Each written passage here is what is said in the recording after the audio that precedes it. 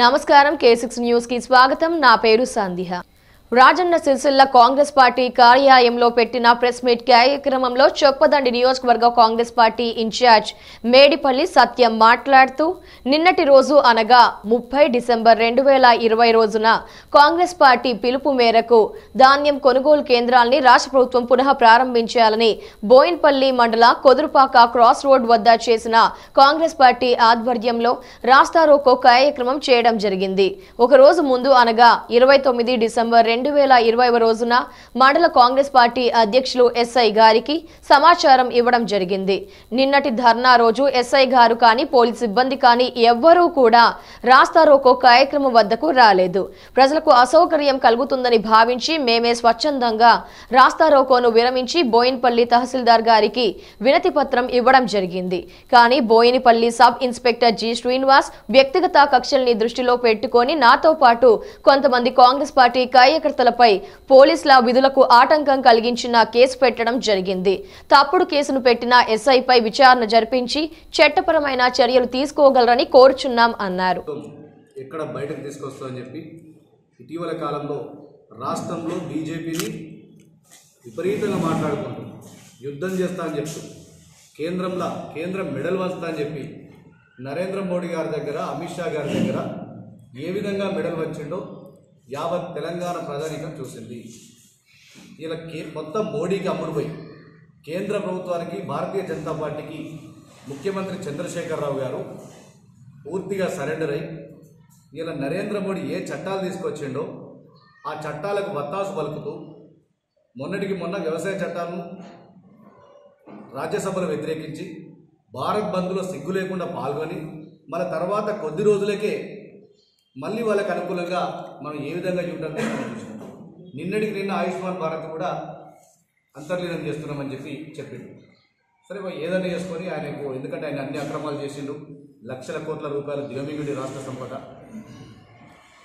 దీంట్లో ఏంటంటే వ్యవసాయ చట్టాలను మద్దతు వెలకడంలో తెలంగాణ రాష్ట్రానికి తీవ్ర అన్యాయం జరుగుతుంది. గతంలో కాంగ్రెస్ పార్టీ హయాంలో పంట కొనుగోళ్ళు రైతులకు ఇబ్బంది కావద్దు రైతుల మీద ఆర్థిక భారం పడకూడదు. అంతేకాకుండా మరొక ముఖ్య విషయం ఏంటంటే ఐకేపీ సెంటర్లు అనేది డ్వాక్రా సంఘాలకు మహిళా సంఘాలకు మహిళలకు ఆర్థిక స్వావలంబన కల్పించాలి మహిళలను ఆర్థికంగా అభివృద్ధి చెందాలని చెప్పి ఆనాడు రాజశేఖర్ రెడ్డి గారు ఒక మహా దృక్పథంతో ఐకేపీ సెంటర్లు గ్రామాల్లో కొనుగోలు చేయాలని చెప్పి పంట కొనుగోలు కేంద్రాలు ఆయా గ్రామాలలో నెలకొల్పడం జరిగింది. ముఖ్యమంత్రి చంద్రశేఖరరావు గారు నరేంద్ర మోడీ గారి వ్యవసాయ విధానాలకు వత్తాసు పలుకుతూ నేను ఈ పంట కొనుగోలు కేంద్రాలు రద్దు చేస్తున్నా మీరు ఎక్కడైనా అమ్ముకోండి దీనివల్ల నష్టం జరుగుతుందని చెప్పి ఇలా నిజంగా రైతుల విషయంలో ముఖ్యమంత్రి లాభాల గురించి మాట్లాడుతున్నట్టు ఈ రాష్ట్ర ప్రభుత్వం ఎంత దిగజారిపోయిందో మనం అర్థం చేసుకోవచ్చు. ఇలా ఏడు వేల ఐదు వందల కోట్ల నష్టం జరుగుతుంది కాబట్టి నేను పంట కొనుగోలు కేంద్రాలు ఎత్తేస్తున్నానని చెప్పి కేవలం నరేంద్ర మోడీ గారిని మభ్యపెట్టడానికి నరేంద్ర మోడీ గారి మనసును గెలుచుకోవడానికి ముఖ్యమంత్రి గారు ఈ నాటకానికి తెరదీసిండు దీనిని నిరసిస్తూ ప్రదేశ్ కాంగ్రెస్ కమిటీ పిలుపు మేరకు ఖచ్చితంగా పంట కొనుగోలు కేంద్రాలు ఉండాల్సిందే. రైతులకు ఇబ్బంది కాకూడదు. గతంలో ఐకేపీ సెంటర్లు ఏ విధంగా నడిచినాయో మహిళా సంఘాలు ఏ విధంగా నడిపించారో మహిళలు ఏ విధంగా ఆర్థికంగా నిలదొక్కుకోవాలని చెప్పి కాంగ్రెస్ పార్టీ ఒక దృఢ సంకల్పంతో వాటిని నెలకొల్పిందో ఖచ్చితంగా అవి కొనసాగించాల్సిందే అని చెప్పి నేను యావత్ ప్రదేశ్ కాంగ్రెస్ కమిటీ పిలుపు మేరకు యావత్ రాష్ట్రంలో శాంతియుతంగా మేము ధర్నాలు కానీ రాస్తారోకలు కానీ దిష్టిబొమ్మ దగ్ధాలు కానీ తర్వాత తహసీల్దార్కు వినతి పత్రాలు సమర్పించడం చేస్తుంటే నిన్న బోయిన్పల్లి మండలం కొదుర్పాక ఎక్స్ వీటికి ఐకేపీ కొనుగోలు సెంటర్ల రద్దు నిర్ణయాన్ని తక్షణం ఉపసంహరించుకోవాలని చెప్పి మేము మా కాంగ్రెస్ పార్టీ ప్రజాప్రతినిధులు రైతుల సోదరులతో కలిసి అక్కడ రాస్తారోక నిర్వహించాం. దాదాపు ఒక పదిహేను ఇరవై నిమిషాలు రాష్ట్ర నిర్వహించడం. అక్కడికి ఏ పోలీసులు కూడా రాలేదు. మా మండల పార్టీ అధ్యక్షుడు రమణారెడ్డి గారు పోలీసులకు ముందే సమాచారం ఇచ్చాడు. సార్ మేము రేపు ప్రోగ్రామ్ పెట్టుకుంటున్నాం. మీరు కూడా కోఆపరేట్ చేయాలంటే తప్పకుండా అని చెప్పి.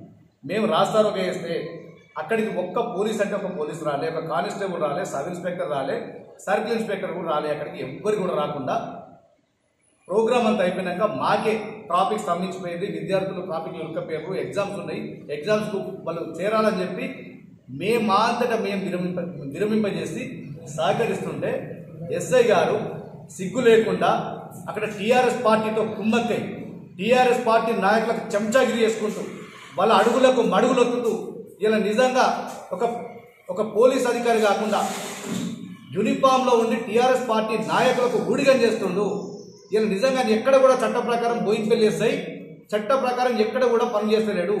పూర్తిగా టీఆర్ఎస్ పార్టీ నాయకుల అడుగులు అడుగులొత్తు వాళ్ళకు బూట్ పాలిష్ చేస్తూ బూట్లు నాకేటువంటి సంస్కృతికి బోయిన్పల్లి ఎస్ఐ దిగజారిండు.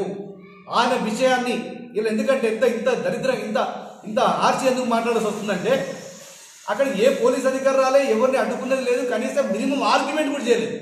ఆర్గ్యుమెంట్ చేయకుండా త్రీ ఫిఫ్టీ త్రీ ఎట్లా అట్రాక్ట్ అవుతుంది త్రీ ఫిఫ్టీ త్రీ కింద ఏ సెక్షన్ కింద నమోదు చేస్తారు? ఒక ప్రభుత్వ అధికారి ఆయన డ్యూటీస్ని అడ్డుకుంటేనో లేదంటే ఆయనతో ఆర్గ్యుమెంట్ చేస్తాను. త్రీ ఫిఫ్టీ త్రీ పెట్టాలని చెప్పి స్వాగతిస్తాను కాదంటలేను. ఎందుకంటే చట్టం తెలిసిన వ్యక్తిగా ఖచ్చితంగా పెట్టాల్సి ఉంటుంది. కానీ ఏ యొక్క పోలీస్ అధికారి రాకుండా కానిస్టేబుల్ రాకుండా ఏ విధంగా పెడతావు? ఎవరి మెహర్బాన్ కోసం పెడుతున్నావు ఎస్ఐ? ఎవరు చెప్తా పెట్టినావు? అంటే నీ చొప్పదండి ఎమ్మెల్యే రవిశంకర్ ఏం చెప్పేటువంటి అది పెడతావా? బిడ్డ బట్టలు తీసుకొడతాం నిజంగా పోలీసుల కంటే పోలీసుల కంటే గౌరవం ఉంది. చట్టం పట్ల గౌరవం ఉంది. ఇలా నిజంగా మీరు ఇట్లాంటి పిచ్చి పిచ్చి పనులు చేస్తే ఎస్ఐ కూడా చూడాల్సి ఉంటుంది చూడకుండా ఉండడం జాగ్రత్త. మీ గతంలో కూడా ఒకసారి ఇదే వేదిక మీద హెచ్చ- ఏమైనా మారుతాడో ఏమైనా సిగ్గు వస్తుందో బుద్ధి వస్తుందో అనుకున్నాం ఇలా నిజంగా బోయింపల్లి మండలంలో రోజు లక్షల రూపాయల కాంట్రాక్ట్ లక్షల రూపాయల ఇసుక తోడల లెక్క తోడుకపో తోడుకపోతుంటే ఈ ఎస్ఐ గడ్డి విక్తుందా గాడికి పనులు అవుతుందా సిగ్గు లేదురా బేవకూఫ్ ఎస్ఐ. నువ్వు ఏం చదువుకున్నావురా నాకు అర్థం కాదు. యూస్లెస్ పిల్లలు ఇది ఆత్మ ఎస్ఐ చేసిన పని. కొంచెమైనా సిగ్గుండాలి కదా. కడుపు కన్నం తింటున్నా లేకపోతే గడ్డి తింటున్నావా? అంటే నువ్వు రవిశంకర్ గారు ఏం చెప్తే అది చేస్తావు. లేదంటే నీ టీఆర్ఎస్ నాయకులు ఏం చెప్తే అది చేస్తావు. దానికోసం సమరీ గవర్నమెంట్ జీతం ఇచ్చేది.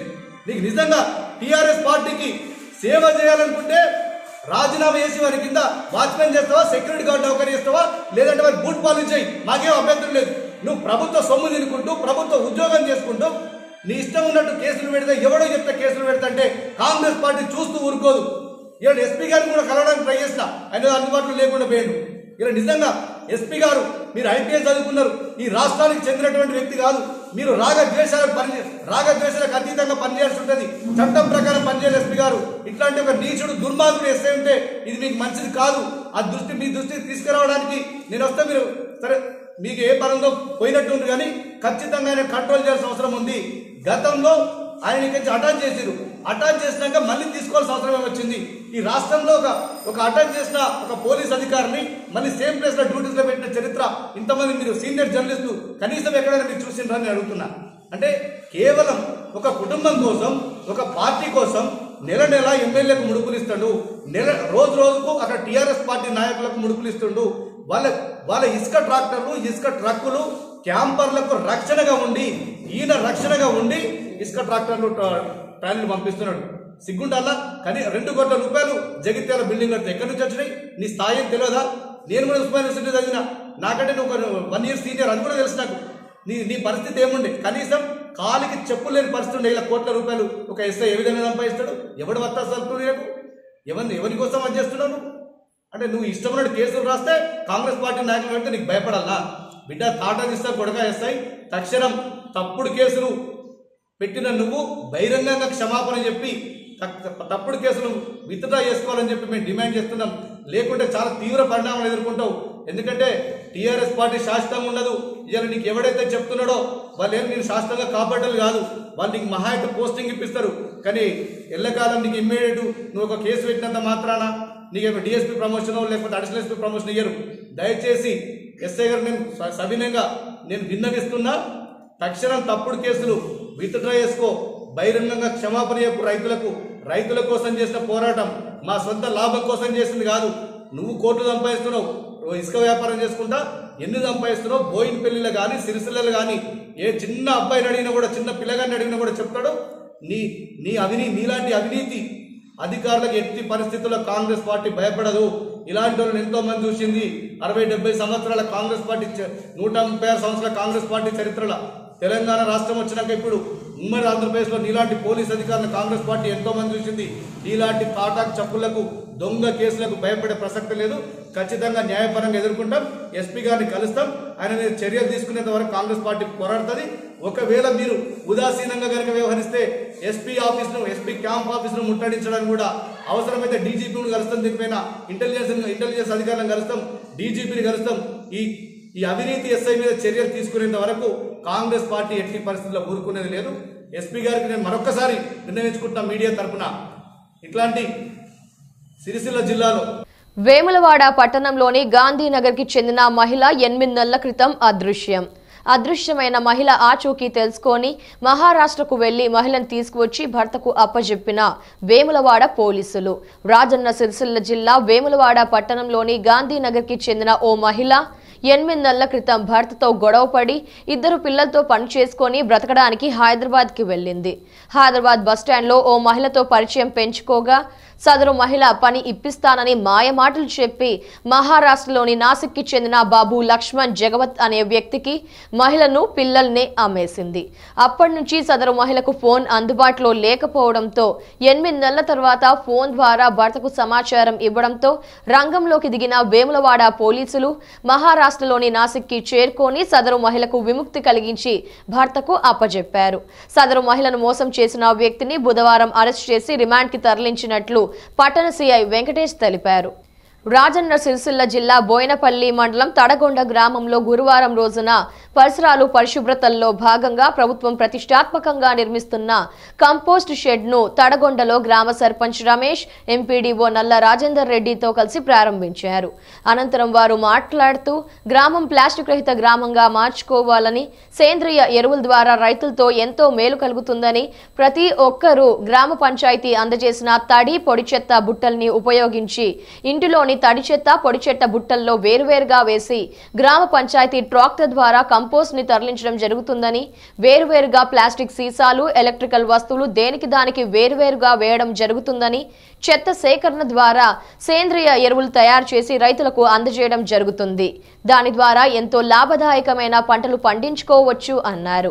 ప్రతి ఒక్కరూ తడి చెత్త పొడి చెత్తను తరలించడం ద్వారా గ్రామాన్ని పరిశుభ్రంగా ఆరోగ్యవంత గ్రామంగా తీర్చిదిద్దుకోవచ్చని ఈ సందర్భంగా కోరారు.